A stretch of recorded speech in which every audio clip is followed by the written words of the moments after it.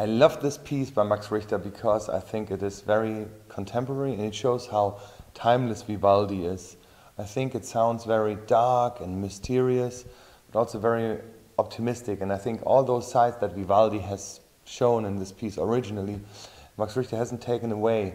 He's just pushed it and you know transformed it in a in a modern way. And yeah, it's great.